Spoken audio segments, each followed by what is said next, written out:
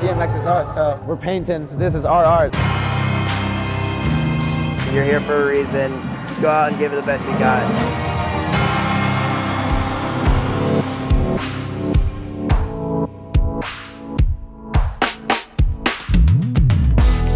When you think of Tallinn Estonia, you definitely don't think BMX, but they have one of the, the biggest BMX contests in the world, and they have an amazing scene here.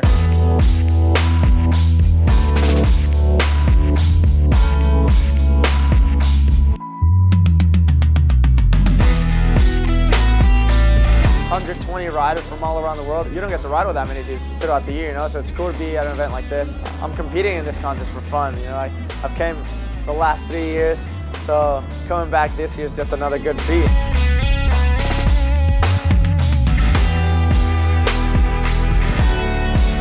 This is one of the best BMX contests, especially with it being taken out of X Games and stuff. Like this is, this gets the most exposure out of all the contests, in my opinion, and it's just such a positive environment.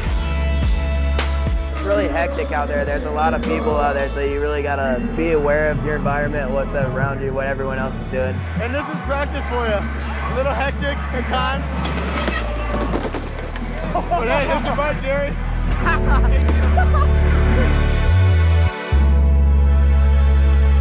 love who announces this contest. Like Catfish is one of my good friends, and every time I get to ride my bike when he's announcing, I get so fired up and get excited to ride. They're absolutely amazing. They pretty much like get me stoked to ride my bike and do crazy tricks that I do. So they're probably a big factor in my riding, and I love both of them because they're just so motivational and good people. So it's a good time with them. Having them announce the event the whole time, you know, it's like showing our personality through their voice. They got us excited, they get the crowd excited while we do our riding, you know, it's cool.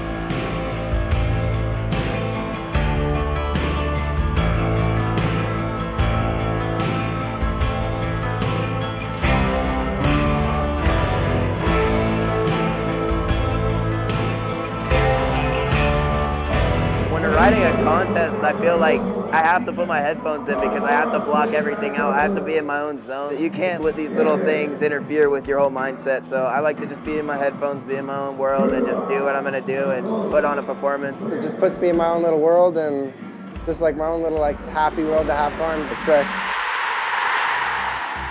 Know, dreams do come true. Like as, as a kid, I grew up in the stands watching an event, looking up to my heroes, and now I'm at an event competing with them. Ryan Nyquist is timeless. He's been doing it for like 30 years. It's like he's got that classic style that he's molded into his own, and he's definitely got a bag of tricks that no one else does.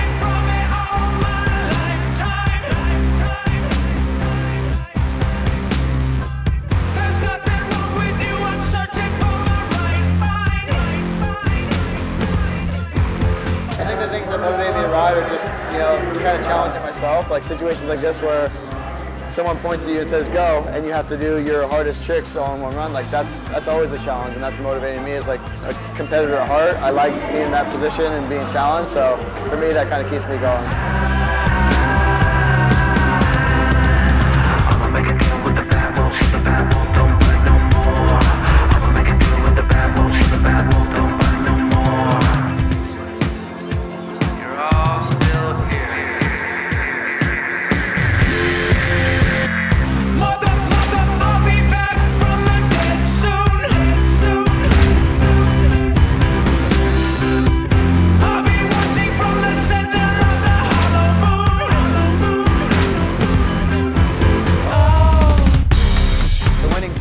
If you make it out safely, like throughout the whole event, then that's winning.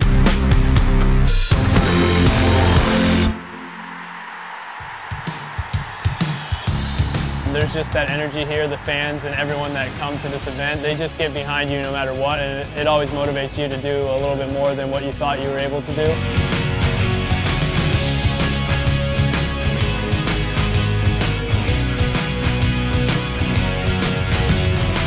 My advice to the younger generation is, just to keep it fun, like, and do exactly what you want to do on your bike. Because if you want to do it, then you're going to put way more effort into it and way more energy into it, and you're going to get a better finished product.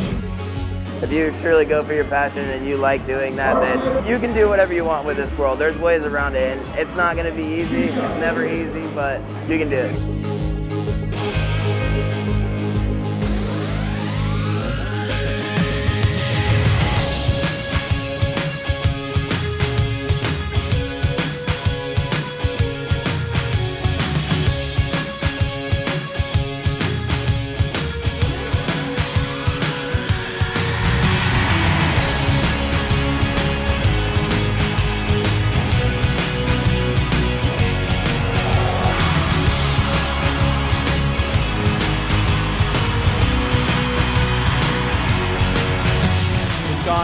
Beyond my wildest dream because I never expected to be able to travel and do what I do because of a bicycle.